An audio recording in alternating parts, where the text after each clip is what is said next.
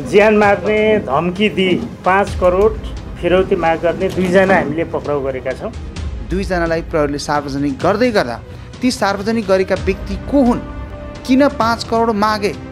र फिरौती नदिए मार्ने धम्की किन दिए त? त्यो सँगै भिआइपी नेता व्यापारी लगायतको लामो लिस्ट उनीहरूले तयार पारेका रहेछन्। ठुला ठुला नेताहरूको नाम पनि त्यहाँ उल्लेख छ। व्यापारीहरूका नाम पनि उल्लेख छन् उद्योगपतिका पनि नाम उल्लेख छन् अनि एनआरएनहरूको पनि नाम छ होइन? विभिन्न पेसा व्यवसायको आठ पन्नामा चाहिँ उनीहरूको नाम चाहिँ उल्लेख गरेको छ। फेवा मिडिया प्रणालीको प्रस्तुति कार्यक्रम मिसन यति बेला फेवा खबर मार्फत विश्वभर एकसाथ हेरिराख्नु भएको छ। हाम्रो गाडी हो कि होइन यो हो नि हाम्रै गाडी नेपाल सरकार गाडी हो नि यो त। नेपाल सरकार गाडी होइन यो। पछि लिन आएको सर होइन? अब भन्नु सिधै भन्छु। हामीले उहाँ गएर अनि रुममा गएर रुममा गएर नि। रुम नम्बर यहाँ रुम नम्बरसँगको सरकारै भएन नि सर। अहिले रातिको नौ बज्न लाख सरकारी गाडीमा तपाईँ रक्सी बोकेर आफ्नो साथी बोकेर हिँड्न पाउनुहुन्छ। यदि गाउँपालिकामा यस्तो चलिरहँदो रहेछ होइन? यसरी बुझौँ। तपाईँहरूले सोध्ने प्रश्न त्यस्तै त्यस्तै हुन्छ नि तर बिहारी गाउँपालिकामा त्यस्तो चल्दैन। कसैलाई अब भाइले लिएर गयो होला त्यो आफ्नो ठाउँमा छ हामीले एकदमै कडाको हिसाबले कर्मचारीलाई हामीले भनिसक्यौँ। तपाईँले त्यति ठाडो क्वेसन चाहिँ नगर्नुहोस्। मलाई छोडेर मेरो सवारी चालक। होटलमा बस्न पठाएको। म्याम राज्यले। दिएको अधिकार प्रयोग गरेर सञ्चारकर्मी सञ्चारकर्मीले प्रश्न नै गर्ने हो। मैले प्रश्न गरिरहेको छु। तपाईँले एक्सप्लेन गर्न पाउने। तपाईँको अधिकार हो। तपाईँ न्यायिक समितिको प्रमुख पनि हुनुहुन्छ। त्यही पालिकाको हो।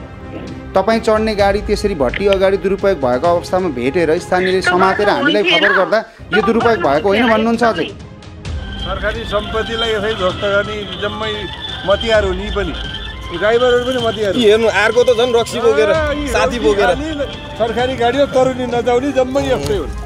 संसार देखिया छ राज्यको सम्पत्ति बचाउनलाई तपाईँहरूले भूमिका खेल्नुपर्ने ठाउँमा आफ्ना कर्मचारीले खास पाठ चाहिँ के सिकाउँदै हुनुहुन्छ भन्ने गम्भीर प्रश्न उठाए पब्लिकले राम्रो कुरा। यो विषयमा म पनि एकदम गम्भीरता छु। मैले म एकदमै चाहिँ सिन्सियरली इमान्दारपूर्वक के भन्न चाहन्छु भनेदेखि म पनि राज्यको सम्पत्ति दुरुपयोग गर्न हुँदैन। भ्रष्टाचार गरेर खानु भनेको आफ्नै आमाको रगत पिउनु सर हो भनेर नै हामी कसम र प्रतिबद्धता गरेर आएको व्यक्ति हौँ। दुरुपयोगका घटनाहरू हामीले देखिराखेको सुनिराखेको अवस्था पनि हो। पक्कै पनि अब यसरी हाम्रो नियन्त्रणमा आइसकेपछि किन आएको त्यो सवारी अथवा के भयो भन्ने किसिमको फोनहरू आउँछन् नआउने होइन। नमस्कार फेवा मिडिया प्रणालीको प्रस्तुति कार्यक्रम मिसनको प्रतीक्षा गरेर बस्नुभएका समस्त दर्शक महानुभावलाई हार्दिक स्वागत छ पोखराबाट। म हिमराज र मलाई क्यामरामा साथ दिइ हुनुहुन्छ क्यामरा पर्सन दोय रवि र आसमेलले दर्शक महानुभाव हाम्रो कार्यक्रम मिसन यति बेला फेवा खबर मार्फत विश्वभर एकसाथ हेरिराख्नु भएको छ। विषय जुन कुनै होस् सवाल जुन कुनै हुन् अनि पात्र जो कोही भए तापनि हामी उठान गर्छौँ र हरेक पलमा तपाईँको सूचनाको सहयात्री भएर अगाडि बढिरहँदा हामीलाई हेरेर साथ दिनुहुने तपाईँ सम्पूर्ण दर्शक महानुभावलाई नमन व्यक्त गर्न चाहन्छु। जनताका जनचासोका विषयवस्तु उठान गरिरहँदा हाम्रो कार्यक्रमलाई कस्तो लागिरहेको छ रचनात्मक सुझाव सल्लाह र प्रतिक्रिया सहित कमेन्ट छोडिदिन म अनुरोध गर्छु। सँगसँगै तपाईँको टोल छर छिमेक वरिपरि त्यस्तो घटना वा दुर्घटना वा त्यस्तो अनियमितता हुँदैछ भने तत्कालै हामीलाई खबर गर्नुहोस्। अन्ठानब्बे पाँच साठी छप्पन्न सात छयानब्बे त्यसै गरी शून्य एकसठी पाँच नब्बे एक सय एघार। हामी आउँछौँ तपाईँलाई साथ दिन। दर्शक महानुभाव आज मैले दुईवटा विषयवस्तुलाई उठान गर्न प्रस्तुत भएको छु। जिल्ला प्रहरी कार्यालय कास्कीले दुईजनालाई सार्वजनिक गरेको छ। पाँच करोड फिरौती माग गर्दै ज्यान मार्ने धम्की दिने दुईजनालाई प्रहरीले सार्वजनिक गर्दै गर्दा ती सार्वजनिक गरेका व्यक्ति को हुन्? किन पाँच करोड मागे? र फिरौती नदिए मार्ने धम्की किन दिए त? त्यो सँगै भिआइपी नेता व्यापारी लगायतको लामो लिस्ट उनीहरूले तयार पारेका रहेछन्। त्यो तयार पारेकामा खास उनीहरूको नियत के हो त? जिल्ला प्रहरी कार्यालय कास्कीले दुईजनालाई सार्वजनिक गर्दै गर्दा यो विषयमा प्रहरीले थप के भन्छ त? जिल्ला प्रहरी कार्यालय कास्कीका प्रहरी प्रमुख एसपी मोहन थापासँगको थोरै कुराकानी र अर्को विषय। दर्शक महानुभाव तपाईँलाई थाहा नै छ विशेष त सरकारी साधनहरू दुरुपयोग भएको तपाईँले थुप्रै देख्नु भएको छ भेट्नु भएको छ। त्यस्तै हामीलाई स्थानीयले खबर गर्छन् र हामी त्यहाँ पुग्छौँ हाम्रो टिमले जे देख्छ त्यही तपाईँ समक्ष कोइद गरेर सम्प्रेषण गर्न प्रस्तुत भएका छौँ गण्डकी प्रदेशका माननीय सांसदको गाडी दुरुपयोगसँगै पर्वतको एक पालिकाको उपप्रमुखको गाडी दुरुपयोग भएको अवस्थामा स्थानीयले हामीलाई खबर गरे र हाम्रो टिम पुगेर त्यहाँ हामीले रिपोर्टिङ गरेका छौँ। यी सवालहरू तपाईँहरू समक्ष लिएर प्रस्तुत हुँदै गर्दाखेरि यो विषयमा खास सांसद के भन्छन् अनि पाँच करोड फिरौती मागेर ज्यान मार्ने धम्की दिने चाहिँ कस्ता मान्छे छन् सविस्तार हामी तपाईँ समक्ष सम्प्रेषण गर्छौँ। सबैभन्दा सुरुमा स्थानीयले हामीलाई खबर गरिसके पछाडि हामी स्थलगत रिपोर्टिङमा पुगेका थियौँ र हामी पुग्दै गर्दा त्यहाँ भेटिएका सरकारी साधन अनि साधनका चालक र जनप्रतिनिधिसँग गरेको कुराकानी सहितको कार्यक्रम मिसन यहाँबाट सुरुवात गर्छु।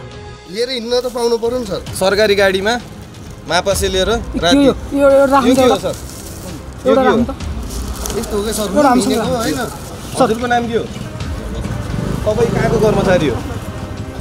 कर्मचारी भन्नु यो सरकारी गाडी चलेपछि त तपाईँ अधिकृत होला कर्मचारी होला के हो सर त उहाँसँग साथी हिँडेको सुत्नुको लागि साथी हिँड्न पाउनुहुन्छ? सर तपाईँको त्यो गाडी चलाउने ड्राइभरको कार्ड देखाउनुहोस्। कुन कुन कार्यालयको गाडी हो यो? बिहादी गाउँपालिका। कता? बिहादी गाउँपालिका। बिहादी गाउँपालिका तपाईँ कार्ड देखाउनुहोस्।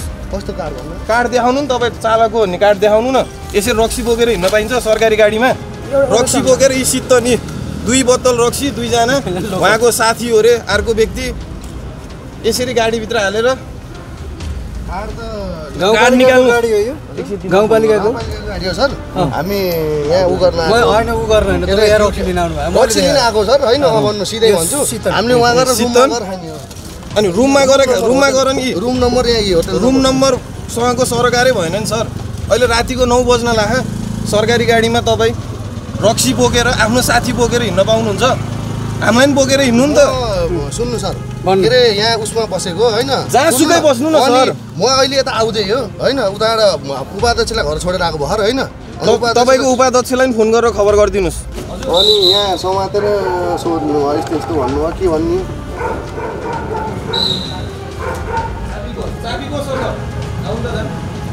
रुम जाँदै हो अब भएर हजुर त्यो छुटेर हजुरलाई छोडेर रुम जाँदै त ए मलाई नम्बर दिनुहोस् त।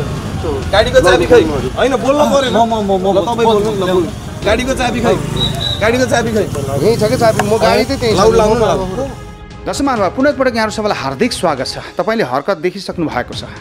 बिहादी गाउँपालिका प्रवर्तकी उपप्रमुख मिना शर्मा तिवारीले प्रयोग गर्ने सवारी साधनलाई यसरी दुरुपयोग गर्दै गरेको अवस्थामा हाम्रो टिमले फेला पारेको थियो। स्थानीय बासिन्दाले हामीलाई खबर गरिसके पछाडि हाम्रो टिम पुग्यो जे देखियो दृश्यमा त्यही कोइद गर्यो र तपाईँ समक्ष सम्प्रेषण गरेको छ। राज्यको सम्पत्ति यसरी दुरुपयोग हुँदै गर्दा नियमन निकाय चुप लागेर बस्नु हुँदैन किनकि जनताका जनप्रतिनिधिहरूले पनि आफ्ना कर्मचारीलाई पाठ सिकाउन पर्छ। देशभरिका जनप्रतिनिधिले यसै गरी दुरुपयोग गर्ने हो भने मान्नुहोस् कि दैनिक कति राज्यको सम्पत्ति दोहन हुन्छ? त्यो तपाईँ आफैले हिसाब गर्न सक्नुहुन्छ। यति धेरै जनप्रतिनिधिहरू हुनुहुन्छ उहाँहरूका टिमबाट अथवा उहाँका कर्मचारीले अथवा उहाँहरूको सदस्यहरूले उहाँका कर्मचारीहरूले यस्तो दुरुपयोग गर्दै गर्दा स्थानीय बासिन्दाले भेटिसके पछाडि हामीलाई खबर गरे। हाम्रो टिम त्यहाँ पुगेर जस्ताको तस्तै तपाईँ समक्ष सदृश्य सम्प्रेषण गरेको छ। एउटा रेस्टुरेन्ट अगाडि उनी त्यहाँ पुगेर बस्नुको कारण के थियो? उनी त्यहाँ कुनै सरकारी कामको लागि गएका थिए सरकारी गाडी लिएर। त्यो पनि होइन होला नि त। यो विषयमा हामीले केही गम्भीर प्रश्न गरेका छौँ।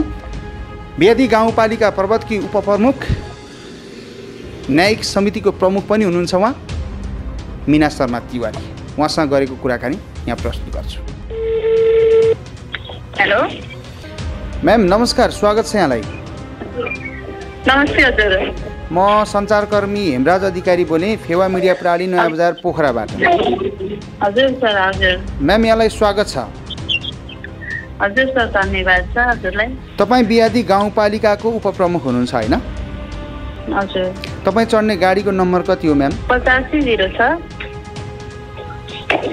पचासी जिरो छ। हजुर। यो गाडीको चालक को हुनुहुन्छ? आकाश थापा। तपाईँको गाडी यसरी दुरुपयोग भएको रहेछ नि? किन? के दुरुपयोग भयो सर? तपाईँ। चढ्ने साधनलाई स्थानीयले नियन्त्रणमा लिएर हामीलाई खबर गरिसकेपछि हामीले रिपोर्टिङ गरेका थियौँ। राज्यले दिएको सम्पत्तिलाई दुरुपयोग गर्न मिल्छ? के खालको दुरुपयोग भयो? म चाहिँ पोखरामा हाम्रो न्याय समितिको कार्यक्रम थियो है। कार्यक्रम चाहिँ जलमहलमा थियो। हाम्रो बसाइ एसिया होटलमा थियो लेफ्ट साइडको स्टेट नम्बर थ्री। है हामी आठ बजेसम्म खाना खाने टाइम थियो त्यो जलमहलमा र बस्नको लागि हामी एसिया होटलमा जानुपर्ने थियो। मेरो बच्चा मेरो छोराछोरी चाहिँ नागरुङ्गा बस्ने। म चाहिँ होटलमा नबस्ने। मेरो सवारी चालक कहिले पनि आजसम्म त्यो तपाईँले त्यो के अरे रक्सीको विषय जोड्नु भएको हुनसक्छ। सत्य त्यही हो। त्यो भेटियो भन्ने कुरा। कहिल्यै पनि मेरो सवारी चालकले त्यो खाएर हिँडेको मैले भेटिनँ। पहिलो पछि होइन? दोस्रो कुरा चाहिँ हामी त जलमलमा खाना खाइसकेपछि मलाई सवारी चालक भाइले आकाशले चाहिँ मलाई छोडेर ऊ आफू बस्ने होटल एसिया होटलमा चाहिँ मैले पठाएको बस्न पठाएको मैले स्थानीयले एसिया होटलबाट नियन्त्रणमा लिएका छैनन्। पोखराको एउटा भट्टी अगाडि रोकेर राखेको ठाउँबाट तपाईँको गाडी नियन्त्रणमा लिएको कुरा हो नि त। होला त्यो होला। नागढुङ्गाबाट मैले चाहिँ उसलाई बस्न पठाएको होइन। अब सवारी चालकले लिएर हिँडेका कुरालाई अब आफू बस्ने ठाउँमा जान गए हुने होइन अब के लिएर गयो भन्ने कुरा म्याम त्यहाँ त्यहाँ त्यो आसपासमा उहाँ त बस्दै? बस्नु भएको छैन क्या त्यो आसपासमा उहाँ बस्नु नै भएको छैन। किन झुट बोल्नुहुन्छ? हामीसँग दृश्य सप्रमाण दृश्य छ नि म्याम होइन मैले पठाएको एसिया होटलमा बस्नलाई हो। अब ऊ जाँदै गर्दाखेरि कताबाट गयो भन्ने कुरा त मलाई थाहा भएन हो यसरी सरकारी सम्पत्तिको दुरुपयोग गर्ने कर्मचारी तपाईँहरूले पालिराख्ने हो।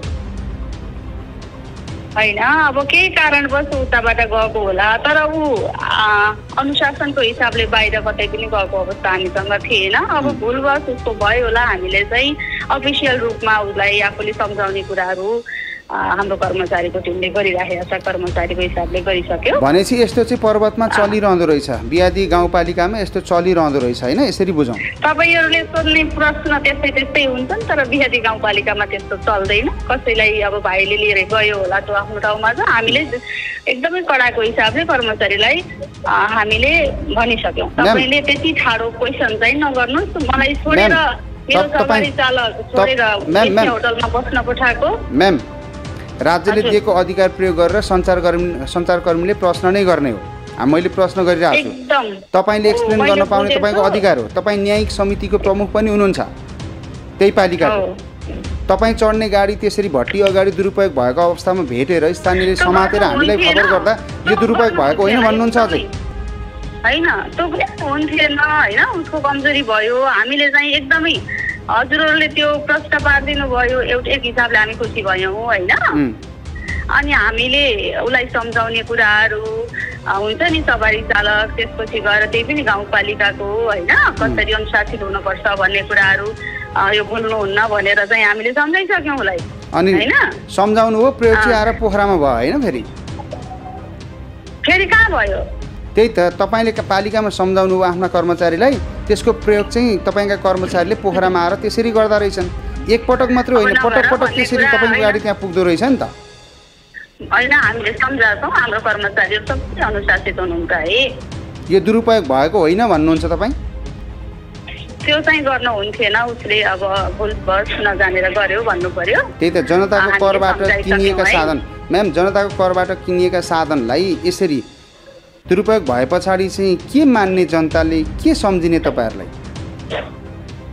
भाइले कसैलाई त्यो अब त्यो गर्नुहुन्थेन होइन उसले चाहिँ लिएर गएछ आफूले खाएर सवारी साधन चलाएको पनि थिएन धेरै राति पनि थिएन उसले मलाई छोडेर गएको हो होइन? उसले तर गर्न हुन्थेन भनेर हामीले सम्झाइसक्यौँ है। तपाईँहरू अब पत्रकारहरू भएर अझ अब हामीलाई झकझकाउनु भयो होइन? अब हाम्रो सवारी चालकले पनि त्यो कुरा बुझे। त्यसको लागि अब धन्यवाद तपाईँलाई है। आगामी दिनमा यस्तो हुन्छ कि हुँदैन अब? सम्झाइसकेका छौँ त्यस्तो हुने कुरा रहेन। है गर्नु नहुने कुरा त हामी सबै आफ्नो क्षेत्रमा अनुशासित हुनु पर्यो सुसज्जित हुनु पर्यो हुन्छ म्याम आफ्ना? कर्मचारीलाई आफ्नो नियन्त्रणमा राख्नु होला समय र समाजको लागि धन्यवाद। हाम्रो क्षेत्रमा हामी अनुशासित सबै सुसज्जित हुनु पर्यो है। हस् धन्यवाद। हुन्छ धन्यवाद। दशमा अनुभव यस्तै अर्को दुरुपयोग भएको छ। गण्डकी प्रदेशका माननीय सांसद एवं पूर्व मन्त्री विभागीय मन्त्री पञ्चराम गुरुङको गाडी पनि दुरुपयोग भएको छ।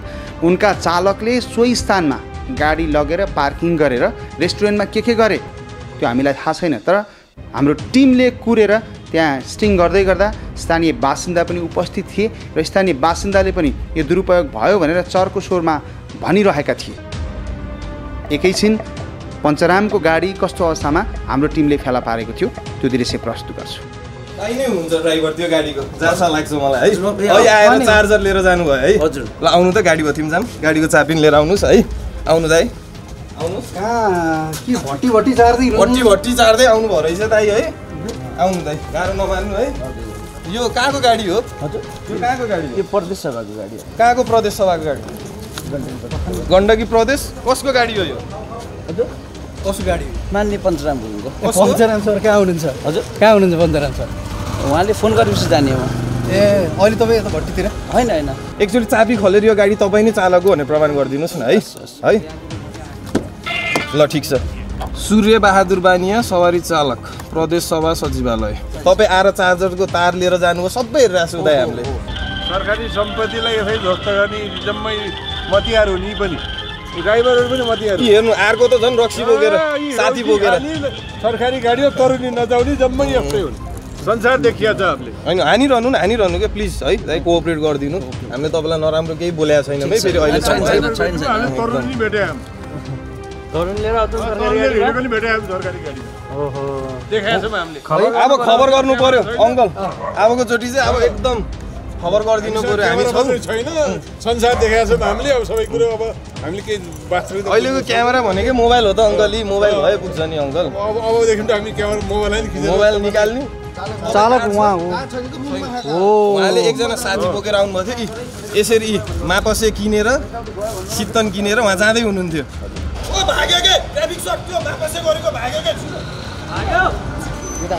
हजुर हजुर प्रदेश सभाको हजुर। मेरो सूर्यबहादुर पाण्डे सरकारी गाडी जसै गाडी चलाएरै यहाँ। हाम्रो गाडी हो। हाम्रो हाम्रो गाडी हो यो। हाम्रो गाडी हो। हाम्रो गाडी हो यो। हाम्रो गाडी हो कि होइन यो। हो नि हाम्रै गाडी हो। नेपाल सरकारको गाडी हो नि यो त। नेपाल सरकारको गाडी होइन यो।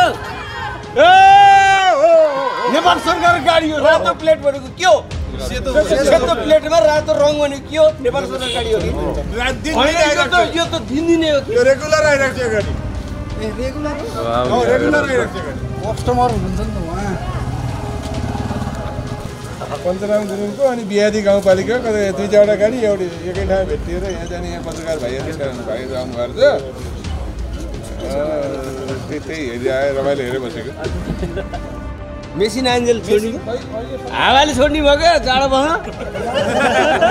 सत्य कुरा हो यो। छोड्ने भयो क्या थपिदिनु पऱ्यो गिलास फेरि।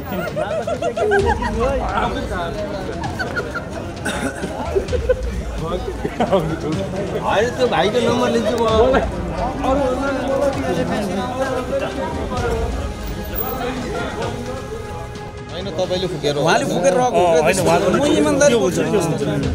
त्यो एउटा एउटा इमान्दारी बोलिदिनु न त त्यहाँ कसलाई लिएर आउनु भएको थियो नि तपाईँ होइन म तेल सुन्नुहोस् म इमान्दारी भन्छु तेल कहाँ त्यहाँ ट्याङ्कर छ र सर यार तेल इमान्दारी सुन्नुहोस् न जे उति भन्नु पऱ्यो। मानिसले मलाई तेल हाल्न पठाउनु भएको म त्यही फोनमा कुराएर बसिरहेको थिएँ म भित्र गएँ नेट दिएन मसँग मैले भित्र गएर चाहिँ नेट चलाएको अब मान्यज्यूले मलाई फोन गरेपछि उहाँलाई ससुरालीबाट के अरे घर पुऱ्याउनु पर्ने हो मेरो मैले पुऱ्याइदिने हो मैले फोन गर्नु भने म जाने हो भने म इमान्दारी जियो म त्यही भन्छु त ठिक छ दाइ तपाईँ मापसे नभए पनि तपाईँ सरकारी गाडीमा भर्तीमा आउनुभयो। त्यो तपाईँको गल्ती भयो कि? ठिक छ। सुन्नुभयो। त्यो भने पनि गल्ती छ। तपाईँलाई चाहिँ हामीले फेला चाहिँ भट्टीमै पारे हो नि। एउटा कुरा सुन्नुहोस्। भट्टीमा भन्नाले सुन्नुहोस्। भट्टीबाट म हो मलाई सुन्नुहोस्। त्यो भट्टीवाला त्यो मलाई थाहा भएन सुन्नुहोस्। म त्यहाँ हो गएको मैले मोबाइल चार्जर पनि दिएको म गएको मैले गएको होइन भने। दुई घन्टा एक डेढ घन्टा त बस्नु एक घन्टा जति म बसेँ होला मैले बसेँ भने। तर मैले मापसी भने म बस्नु गर्नु भएन म। बस्नु पाउने कि नपाउने? पाउने सरकारी गाडी लिएर त। मैले सुन्नुहोस् न हो, मैले भने आफ्नो म प्राइभेट गाडीमा आउनु मैले आउनु नि दाइ त्यो त मेरो लाइफ भन्दा मैले के भने भने मलाई मान्नेज्यूले तेल हालेर आऊ भन्नुभयो तर म गएपछि पम्प बन्द भइसक्यो। लेन्स नभए त तपाईँले म डिटी पनि जान्छु तेल पनि छैन गाडीमा। रातोमै छ क्या ल। अनि त्यो पनि होइन। ससुरालीको तेल बन्द भयो हजुर। ससुराको होइन म तेल हाल्न जाने भने हो क्या सुन्छु ए जाने भन्नुको त्यहाँको जानु भयो म गएको छैन। त अनि अनि सोध्छु म त जे हो त्यही भन्छु। होइन ठिक छ ल तपाईँले मापासी नगर्नु भयो रहेछ दाइ त्यो ठिकै भयो।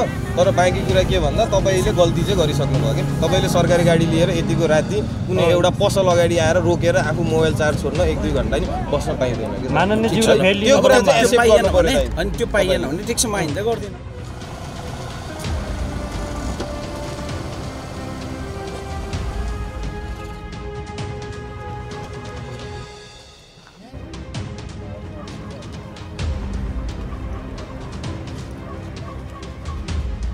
बाबा स्याङ्जाबाट राप्रापाको तर्फबाट समानुपातिक सांसद बनेका पञ्चराम गुरुङको गाडी दुरुपयोग भएको अवस्थामा फेला पारिसके पछाडि स्थानीयले हामीलाई खबर गरे हामीले स्थलगत रिपोर्टिङ गरेका थियौँ। खास यो विषयमा चाहिँ गण्डकी प्रदेशका सांसद पञ्चराम गुरुङ के भन्छन्? दुरुपयोग भएको हो कि होइन? यदि दुरुपयोग हो भने उनका चालकलाई कस्तो खालको कारवाही गर्छन्? र हाम्रो प्रश्नमा उनको जवाफ कस्तो छ त? उहाँलाई स्वागत। स्वागत छ धन्यवाद हुन त यहाँहरूलाई सामान्य लाग्ला। अब सानो विषय मिडियाले कति कभरेज गरेको भन्ने। तर यति धेरै जनप्रतिनिधि हुनुहुन्छ यति धेरै स्थानीय तह छ। हामी स्थानीय तहको कुरा अलिकति गरौँ। सात सय त्रिपन्न स्थानीय तहका हरेक साधनले दिनमा पाँच लिटर तेल खर्च गर्यो भने दुरुपयोग गर्यो भने कति होला अनि महिनाको कति होला र वर्षको कति होला दुरुपयोग? त्यो एउटा पाटो भयो। तर तपाईँको चालकले तपाईँको गाडीलाई दुरुपयोग गरेको त हाम्रो क्यामेरा फ्रेमले भेट्टायो। दुरुपयोग गरेको क्यामेरा फ्रेममा सुरक्षित छ। यो विषयमा चाहिँ तपाईँ के भन्नुहुन्छ? मैले पनि त्यो तपाईँहरूकै सामाजिक सञ्जालबाट चाहिँ मैले पनि हेरेँ। तर त्यो त्यो दिनको वास्तवमा चाहिँ घटना चाहिँ के हो भने म इमान्दारपूर्वक भन्न चाहन्छु। म चाहिँ एउटा कार्यक्रम सिद्ध्याएर आएको थिएँ। आइसके पछाडि म त्यो दिन म ससुराली मेरो नदीपुर पर्छ। नदीपुर परिसके पछाडि मेरो घर चाहिँ तल घारीपाटन। अनि म न नदीपुर बस्ने भइसके पछाडि गाडीलाई पनि अब घरमै लानुपर्छ। मैले ससुराली लाग्दाखेरि पनि भोलि जानु अप्ठ्यारो होला भन्ने सोचेर नै मैले चाहिँ गाडी ड्राइभरलाई चाहिँ तेल थिएन तेल हालेर तिमी घर जाऊ अनि घरमा ल्याएर गाडी राख भनेर भनेको थिएँ। तर त्यतिखेर चाहिँ पठाइसके पछाडि त्यो गाडी ड्राइभर चाहिँ चालक चाहिँ तेल हाल्न गएको। तर तेल बन्द भइसकेपछि फर्केर आएर त्यो बाटो घर जान आएको। आइसके पछाडि त्यहाँ काठमाडौँमा भने कि जापान कहाँ आफ्नो साथीबाट चाहिँ भिडियो कल के मेसेन्जरमा फोन आयो। फोन आइसके पछाडि भिडियो कल गर न कहाँ तिमी भनेर सोध्ने बेलामा चाहिँ कुरा गर्ने बेलामा चाहिँ कुरा गर्दाखेरि ब्याट्री सिद्धियो ब्याट्री सिद्धिएपछि त्यहाँ त्यो रेस्टुरेन्टमा बसेर चाहिँ खाजा नि खाएर चार्ज गर्नलाई त्यहाँ बसेको भन्ने कुरा गरेको थियो। मलाई जानकारी दिएको थियो त्यति नै हो राज्यको सम्पत्ति दुरुपयोग भएन र? त्यो अब एउटा कुराले अब त्यसरी सोध्न पनि स्वाभाविक नै हो। तर पनि मलाई के लाग्छ भने त्यो कुनै ठाउँमा भनौँ न अब पोखरा भ्यालीभन्दा मेरो अनुमतिभन्दा बाहिर गएको होइन। घर जाने क्रममा बाटोमा परेको ठाउँ हो त्यो। परेको ठाउँ हुँदाखेरि चाहिँ अब त्यो बाटो जानुपर्ने बाटो नै अन द वे भएको हुनाले मलाई लाग्छ त्यो चाहिँ दुरुपयोग भयो जस्तो चाहिँ मलाई चाहिँ लाग्दैन हजुर। तपाईँ मान्य सांसद हुनुहुन्छ गण्डकी प्रदेशको होइन? देख्दा सामान्य लाग्छ विषय। के नै गर्यो होला? दुई लिटर तेल सक्यो होला। तर यति धेरै तपाईँहरू जनप्रतिनिधि हुनुहुन्छ प्रदेशको सांसद सङ्घ सरकारको अनि त्यहाँबाट स्थानीय त। राज्यको सम्पत्ति बचाउनलाई तपाईँहरूले भूमिका खेल्नुपर्ने ठाउँमा आफ्ना कर्मचारीले खास पाठ चाहिँ के सिकाउँदै हुनुहुन्छ भन्ने गम्भीर प्रश्न उठाए पब्लिकले राम्रो कुरा। यो विषयमा म पनि एकदम गम्भीरता छु। मैले म एकदमै चाहिँ सिन्सियरली इमान्दारपूर्वक के भन्न चाहन्छु भनेदेखि म पनि राज्यको सम्पत्ति दुरुपयोग गर्न हुँदैन। भ्रष्टाचार गरेर खानु भनेको आफ्नै आमाको रगत पिउनु सर हो भनेर नै हामी कसम र प्रतिबद्धता गरेर आएको व्यक्ति हुँ। त्यही भएको हुनाले मैले आफ्नो व्यक्तिगत कामको लागि मसँग चाहिँ साधन चाहिँ मेरो घरमा एउटा मोटरसाइकल पनि छ र मेरो आफ्नो प्राइभेट गाडी पनि छ। मैले आफ्नो प्राइभेट कामको लागि चाहिँ कुनै पनि दिनमा कहिल्यै पनि मैले चाहिँ स के अरे सरकारी गाडी चाहिँ मैले प्रयोग गर्दिनँ। सरकारी गाडीको प्रयोग गर्ने अधिकार हामीलाई चाहिँ ट्वेन्टी फोर आवर छ। तथापि मैले चाहिँ आफ्नो व्यक्तिगत कामको लागि चाहिँ मैले चाहिँ प्रयोग गर्दिनँ। मैले चाहिँ सरकारको कामको लागि अथवा जनताको कामको लागि अथवा जनताको सेवाको लागि अथवा चाहिँ कुनै ठाउँमा चाहिँ जनताको गुनासो चाहिँ सुनाउँछु भन्दाखेरि सुन्नको लागि मैले प्रयोग गर्छु। अरू बेला चाहिँ मैले प्रयोग गर्दिनँ। यसमा चाहिँ म तपाईँलाई ढुक्कको साथ भन्न चाहन्छु। कुनै पनि समयमा कुनै पनि दिनमा तपाईँहरूले पञ्चराम गुरुङलाई चाहिँ बिना काममा चाहिँ सरकारी गाडी प्रयोग गरेको चाहिँ तपाईँले भेट्न सक्नु हुँदैन यहाँका स्थानीय बासिन्दाको भनाइअनुसार तपाईँको गाडी लगायत अरू सरकारी गाडी पनि त्यहाँ गइराख्ने बेला बखत भन्ने कुरा पनि गर्नुभएको हो ल तपाईँले एकदम राम्रो कुरा गर्नुभयो। मैले त्यो भिडियो हेरेँ। त्यो भिडियो हेर्दाखेरि एकजना साथीले त्यो बोलेको मैले देखेँ। यदि मेरो गाडी म कसम खाएर भन्छु यदि मेरो गाडी मेरो ड्राइभरले मैले पठाउनु भनेको तेल हाल्न र गाडी बिग्रियो भने मर्मत गर्न पठाउँछु मैले। अरू बेला मेरो ड्राइभर चाहिँ एक दिन पनि मसँग छुटेको छैन। त्यो गाडीको त्यो बाटो म एक दिन पनि हिँडेको पनि छैन। यदि त्यो बाटोमा मेरो गाडी आजभन्दा अघिल्लो दिनमा म सवार गरेर त्यो गाडी मेरो त्यो बाटो हिँडेको चाहिँ समयमा यदि त्यो साथीले क्यामेराले क्याप्चर गरेर अथवा कुनै प्रुफ छ भन्छ भने मैले सरकारी गाडी होइन मैले चलाएको गाडी त्यो साथीलाई म दिन तयार छु। म यतिसम्म चुनौती दिन्छु। धेरै सवारी साधनहरू जुन जनताको करबाट किनिएका छन् साधनहरू दुरुपयोग भएका थुप्रै रिपोर्टिङ हामीले पनि गरेका छौँ आज तपाईँ पर्नुभयो र मैले तपाईँलाई प्रश्न गर्दैछु तपाईँ मात्रै होइन धेरै सरकारी साधनहरू चाहिँ दुरुपयोग भएको तथ्य र प्रमाण हामीसँग सुरक्षित छ यदि सम्बन्धित निकाय चाहन्छ र खोज्छ भने। त्यस्ता खालका कर्मचारी र त्यस्ता खालका जनप्रतिनिधिलाई तपाईँ एउटा गण्डकी प्रदेशको सांसद भएको हिसाबले चाहिँ के सन्देश दिन चाहनुहुन्छ? सर्वप्रथम त तपाईँहरूले जुन यो गर्नुभएको छ जुन साथीहरूले चाहिँ यो किसिमको चाहिँ अभियान चलाउनु भएको छ त्यो साथीहरूलाई म एकदम हृदयदेखि हार्दिक धन्यवाद भन्न चाहन्छु। म पनि तपाईँलाई सहयोग गर्न तयार छु त्यस्तोमा चाहिँ होइन? तथापि यदि कसैले चाहिँ त्यस्तो किसिमको दुरुपयोग गर्छ भन्छ भने कारवाही गर्नुपर्छ कारवाहीको दायरामा ल्याउनु पर्दछ। शक्तिको पहुँचमा र सत्ताको पहुँचमा चाहिँ उसले चाहिँ फुर्ती लाउनु हुँदैन। त्यस्ता गरेको त्यस्ता खालको प्रविधि त्यस्तो खालको चाहिँ कसैले त्यस्ता किसिमको दुरुपयोग सामाजिक सरकारको सरकारी सम्पत्तिलाई दुरुपयोग गर्छ भन्छ भने त्यस्तालाई कारवाही गर्नुपर्दछ भन्ने मान्यता म पनि राख्दछु। यति भइसके पछाडि तपाईँको चालकलाई चाहिँ के सुझाउनु भयो कि ठिक गरिस् भाइ भन्नुभयो मैले भोलिपल्ट मैले चाहिँ त्यो जानकारी गराएँ। जानकारी गराएपछि मैले चाहिँ भने अनि त्यसलाई मैले स्पष्टीकरण म आफूले लिएँ भनौँ न। भन्थेँ उसले चाहिँ आफ्नो इमान्दारितापूर्वक किनभने त्यो मान्छेले रक्सी खाँदैन तपाईँले ढुक्क गर्नुहोस् होइन रक्सी खाँदैन। त्यही भएको हुनाले चाहिँ मैले मापासी पनि मलाई मैले यसै यसैमा रोकेँ है। मान्छेको हरेक मान्छेको व्यक्तिगत जिन्दगी हुन्छ। अफकोर्स होइन? ज जसलाई जे जे खान मन लाग्छ आफ्नो व्यक्तिगत जिन्दगीमा खान नि पाउँछ हिँड्न नि पाउँछ। मात्र यहाँ के भन्दाखेरि सरकारी साधन प्रयोग गरेर त्यो रेस्टुरेन्टमा उहाँ पुगेर दुई घन्टासम्म होल्ड भएको विषय मेजर छ। देख्दा सानो हो। मैले अहिले पनि भने तपाईँलाई यति धेरै सरकारी संयन्त्र छ देशभरि यति धेरै जनप्रतिनिधि हुनुहुन्छ। सबैले यसै गर्ने हो भने हिसाब गरौँ कति आउला वर्षमा।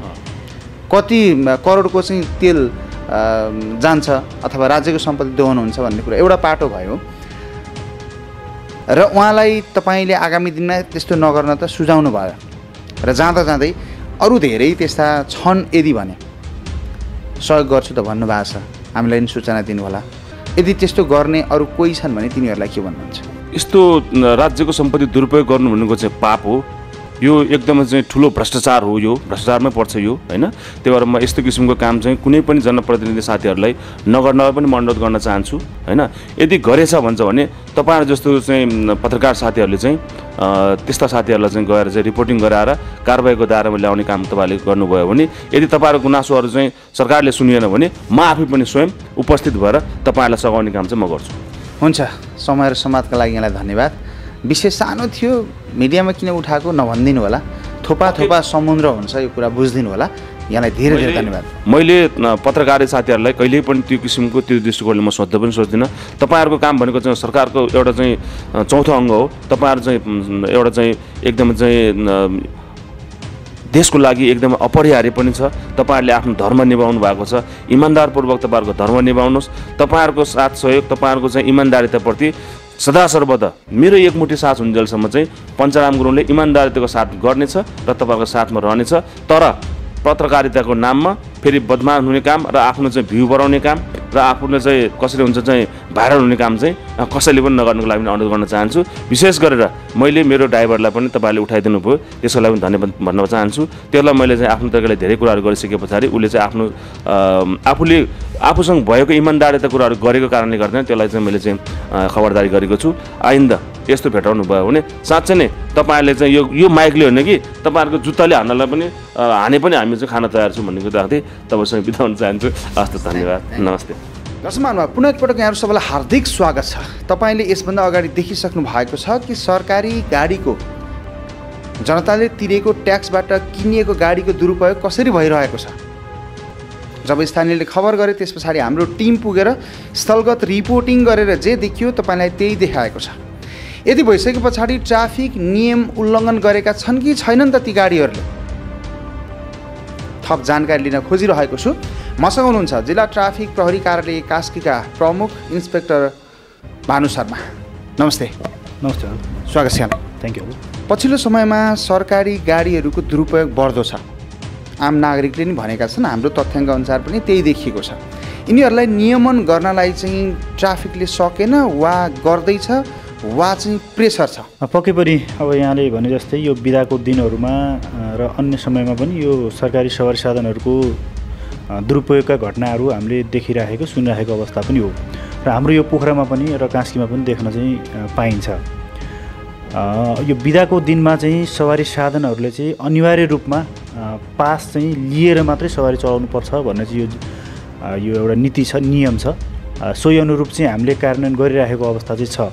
भेटिएर देखिसम्मको अवस्थामा हामीले चाहिँ होल्ड गरेर उहाँहरूलाई चाहिँ आवश्यक कारवाही जे छ प्रक्रिया त्यो अनुसार गर्ने गरेका छौँ। र कतिपय अवस्थामा चाहिँ हाम्रो मात्रै नजर नपुग्ने अवस्थामा कतिपय पत्रकार साथीहरूले कतिपय अभियन्ता साथीहरूले पनि उहाँहरूले चाहिँ यस्तो यस्तो गाडी छ भनेर चाहिँ सूचना दिएको आधारमा हामीले त्यही अनुसार नियमन गर्ने कारवाही गर्ने प्रक्रियाहरू अगाडि बढाइराखेको अवस्था चाहिँ हो। जिल्ला ट्राफिक प्रहरी कार्यालय कास्कीको आँकडा अनुसार महिनामा कति जति यस्ता दुरुपयोग गर्ने गाडीहरू जसलाई तपाईँहरूले नियन्त्रणमा लिनुभएको छ कारवाही गर्नुभएको छ एउटा रेसियो यस्तो हुन्छ। अब यसमा दुई किसिमले हेर्न पनि सकिने भयो। अब यो बिदाको दिनमा चाहिँ सवारी दुरुपयोग गर्ने हरूको एउटा आँकडा हुन सक्ला र अर्को चाहिँ यो अन्य ट्राफिक रुल भायोलेसन यो बिदाको दिन अथवा अन्य दिनमा पनि। लगभग चौबिस पच्चिसवटा जति गाडीहरू चाहिँ यो बिदाको दिनमा चाहिँ बिना पास उहाँहरूले चाहिँ सवारी चलाएर दुरुपयोग गरेको अवस्थामा चाहिँ हामीले उहाँहरूलाई चाहिँ नियन्त्रणमा लिएर आवश्यक कारवाही गरी चाहिँ हामीले पठाएका छौँ। कतिपय अवस्थामा हामीले चाहिँ निषेधित अवस्थामा निषेधित समयमा चाहिँ सवारी चलाएको भनेर पनि एक दुईजनालाई चाहिँ कारवाही गरेको अवस्था चाहिँ छ। तर हामीले पछि जिल्ला प्रशासन कार्यालयसँग समन्वय गरिसकेपछि उहाँ त्यहाँबाट हामीलाई के निर्देशन आयो भने उहाँलाई चाहिँ त्यो दुरुपयोगको सम्बन्धमा चाहिँ उहाँले पास ल्याउन सक्नुहुन्छ भने उहाँहरूलाई चाहिँ पास ल्याइसकेपछि चाहिँ आवश्यक सम्झाइ बुझाइ गरेर रिलिज गर्ने अन्यथा बिदाको दिनसम्म होल्ड गर्ने र कार्यालय सञ्चालन हुने दिनमा चाहिँ गाडी रिलिज गर्ने गरी चाहिँ हामीले त्यसरी चाहिँ गर्ने गरेका चाहिँ छौँ।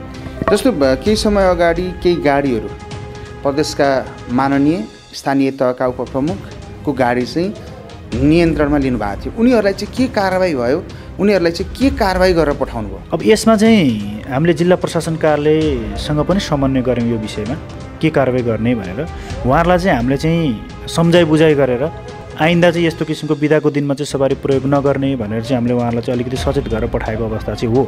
यसमा चाहिँ स्पष्ट रूपमा चाहिँ ट्राफिक नियम उल्लङ्घनको घटना नपाइएको हामीले उहाँ चालकहरूको मादक पदार्थ सेवन गरे नगरेको सम्बन्धमा पनि हामीले चेक जाँच गऱ्यौँ। त्यो चेक जाँच गरे गर्दाखेरि चाहिँ मापसे गरेको अवस्था चाहिँ भेटिएन।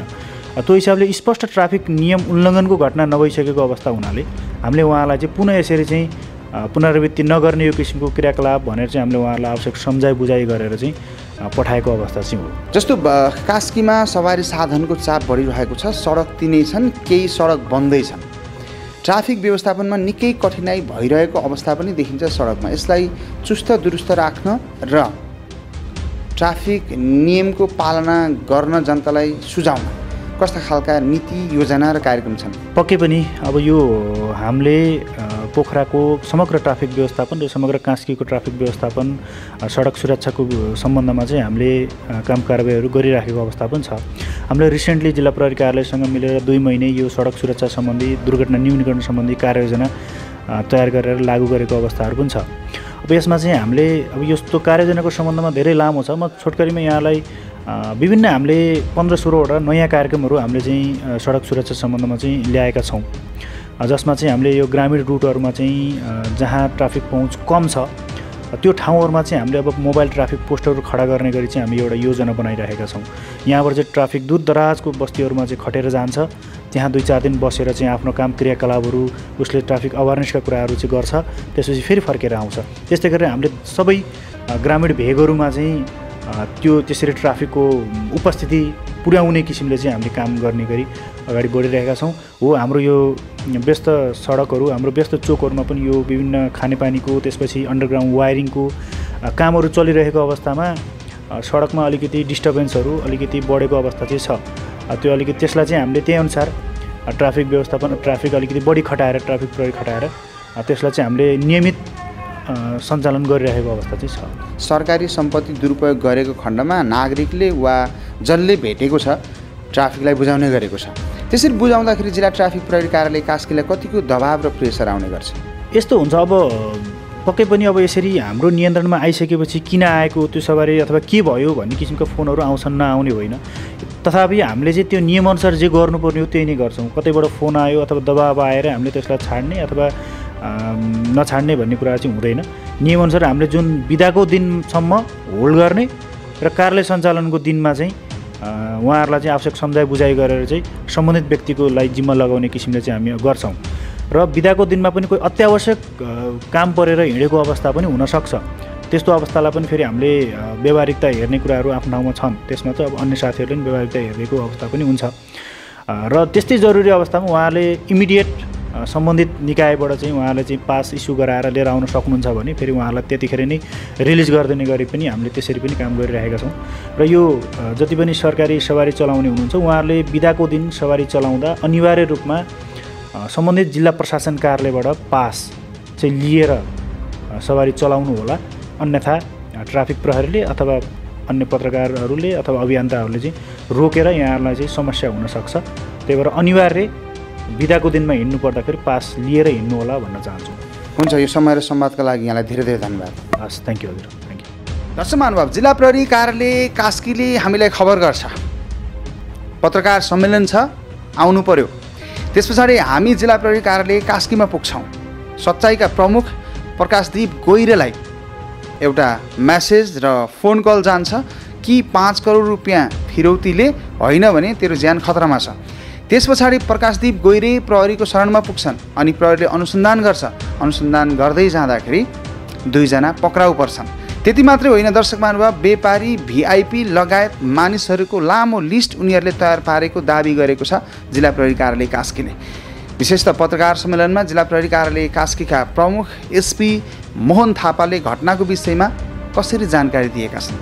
यहाँ प्रस्तुत गर्छु। सञ्चारकर्मी मित्रहरूलाई जिल्ला प्रहरी कार्यालय कास्की हार्दिक स्वागत गर्दछ।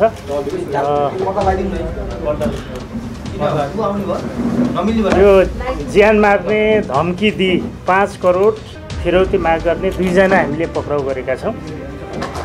घटना विवरण चाहिँ मिति दुई हजार अस्सी दस अठार गतेदेखि जिल्ला कास्की पोखरा महानगरपालिका वडा नम्बर सोह्र लामाचौर घर भई यही द्वीप स्थित रहेको सच्चाइ सेवा केन्द्रका सञ्चालक तथा सच्चाइ केन्द्र नेपालका केन्द्रीय अध्यक्ष प्रकाशदीप गैरेलाई फोन तथा म्याज म्यासेज मार्फत हिन्दी भाषामा कुराकानी तथा एसएमएस गरी रु पाँच करोड माग गरेको र उक्त रकम नदिएमा निजको परिवार तथा निजलाई समेत ज्यान मार्ने धम्की दिएको भन्ने निवेदनको आधारमा जिल्ला प्रहरी कार्यालय कास्कीबाट अनुसन्धान तथा खोज तलास गर्दै जाँदा जिल्ला कास्की पोखरा मा महानगरपालिका वडा नम्बर आठ सिमल चौर जाल्पा मन्दिर स्थित डेरा गरी बस्ने निम्न दुईजनाले प्रकाशदीप गैरेलाई धम्क्याउन प्रयोग गरेको सिम सहितको मोबाइल लगायत दसीका सामान समेत मिति दुई हजार असी दस चौबिस गते फेला पारी पक्राउ गरी जिल्ला प्रहरी कार्यालय कास्कीमा ल्याई थप अनुसन्धान प्रक्रिया अगाडि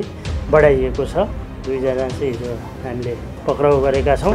प पक्राउ परेका व्यक्तिहरूको विवरण लक्ष्मण दर्जी उमेर छत्तिस वर्ष जिल्ला पर्वत कुष्मा नगरपालिका खुरकोट घर भई हाल पोखरा महानगरपालिका वडा नम्बर आठ सिमलचौर चाहिँ बस्ने र पेसा चाहिँ विगत चार वर्षदेखि विदेश कतारमा रहेको हाल नेपाल आएको एक महिना भएको रहेछ।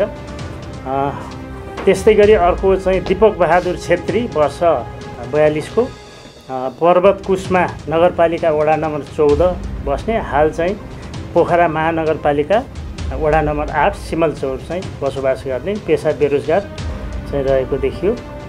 र हामीले निजहरूको साथबाट विभिन्न सामानहरू चाहिँ बरामद गरेका छौँ जस्तो विभिन्न किताबहरू तिन थान छन् त्यस्तै गरी नोटबुक एक थान छ।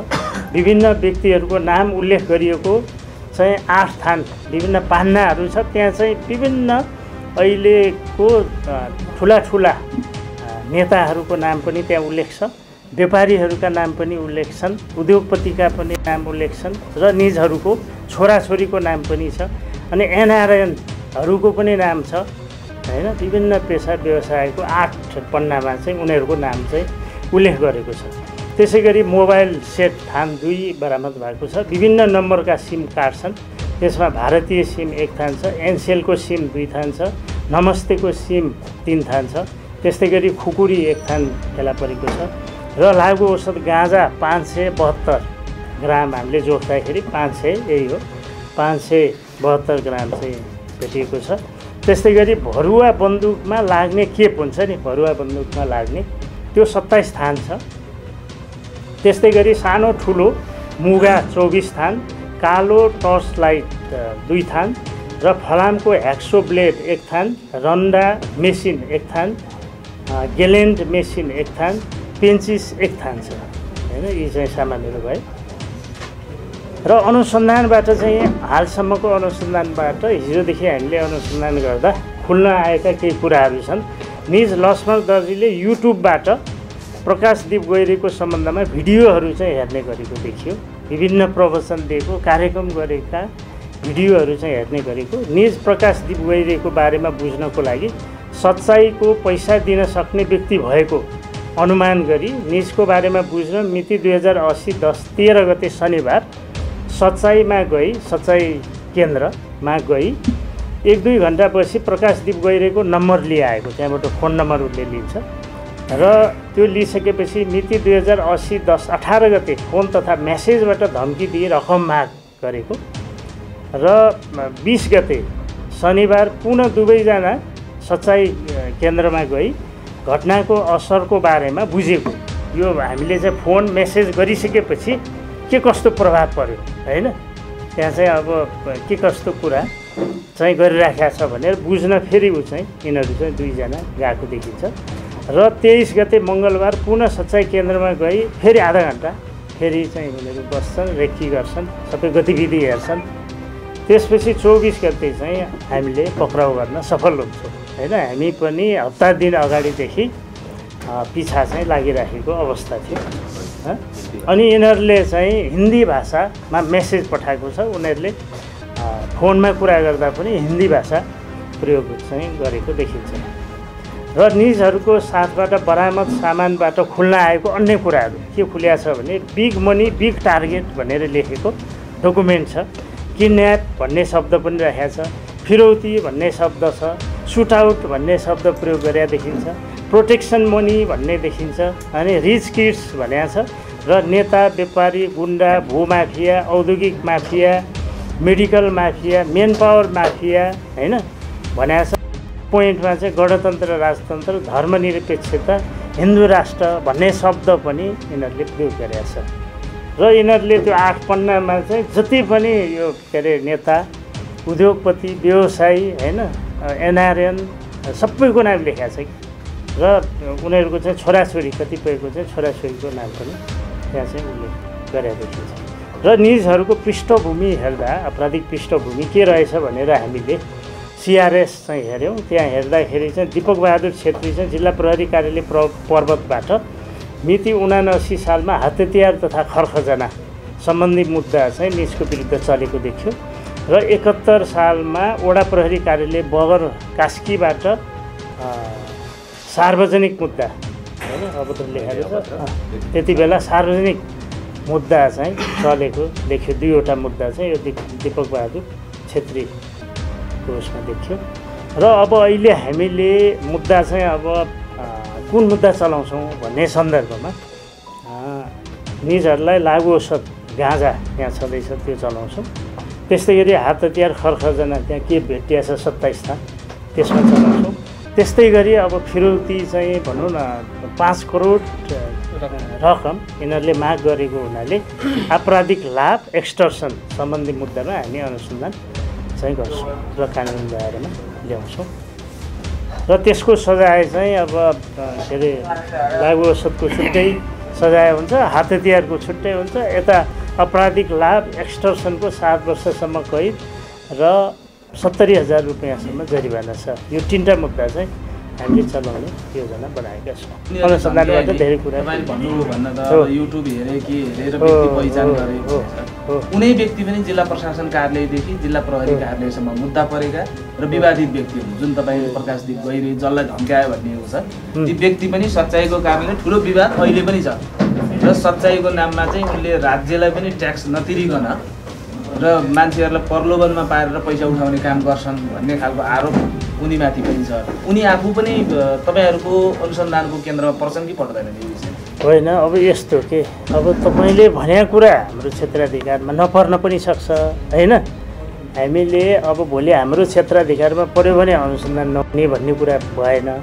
तर यो मुद्दामा चाहिँ उहाँ नै पीडित देखिएको होइन? र उहाँलाई धम्के धम्क्याएर पैसा असुल्न खोजेको प्रस प्रशस्त प्रमाणहरू चाहिँ छन्। होइन? त्यसको आधारमा चाहिँ हामीले अब निजहरूलाई पक्राउ गरिएको हो होइन? अब कोही मान्छे भनौँ न अन्य कुरामा अब गैर कानुनी कार्य गरेका छ भन्दैमा ऊ पीडित हुँदैन भन्न फेरि सकिएन नि त। यसमा चाहिँ उहाँ पीडित हुनुभएको देखिन्छ।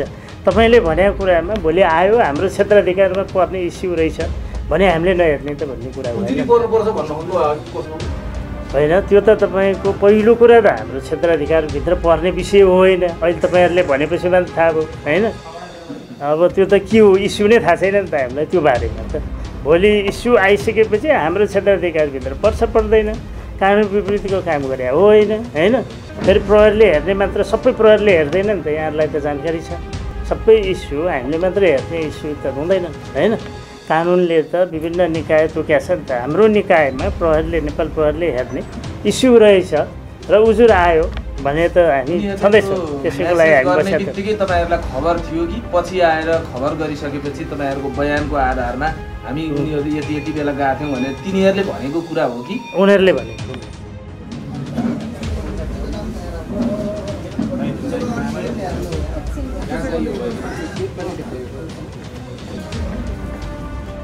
दर्शक महानुभाव हाम्रो कार्यक्रम मिसन यहाँलाई कस्तो लागिरहेको छ? जनचासोका विषयवस्तुलाई उठान गर्दै हरेक पलमा तपाईँको सूचनाको सहयात्री भइरहँदा जस्तो लागिरहेको छ रचनात्मक सुझाव सल्लाह र प्रतिक्रिया दिन सक्नुहुन्छ।